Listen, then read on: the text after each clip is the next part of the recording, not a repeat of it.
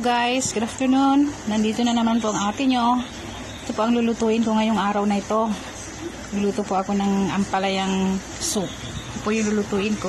Yung ampalaya, tsaka yung mince, chicken. Gagawin ko pong meatball yan. Tsaka isang itlog.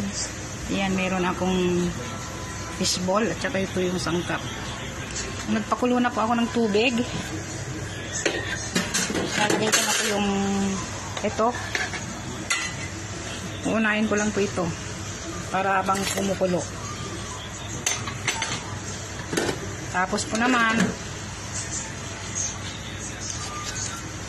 yan lalagyan ko po yung mincemeat ng asin.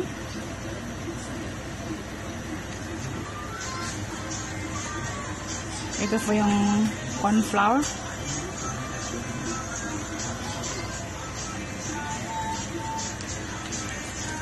Saka lalagyan ko din po ng ano, ng pepper.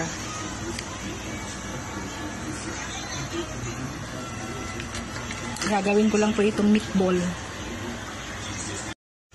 So na ho, kumukulo na ho yung tubig. Pwede na ako kayo maglagay ng mas masarap sana kung mayroong nor cubes pero wala pa akong nor cubes. Bigyan ko na lang ho ng chicken stock kasi kalimutan kong bumili. Alam niyo naman, lockdown ngayon dito sa Malaysia. So, lagyan na lang ng asin. Saka, lalagay ko na rin po yung chicken meatball ko. Hanggang sa kumulo na po ito. Pakuluin po natin. Susunod ko na po yung ampalaya.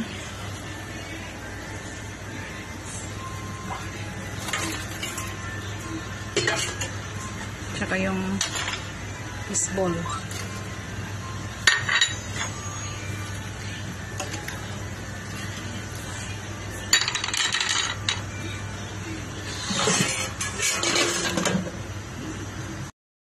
na po, ilagay na po natin yung itlog.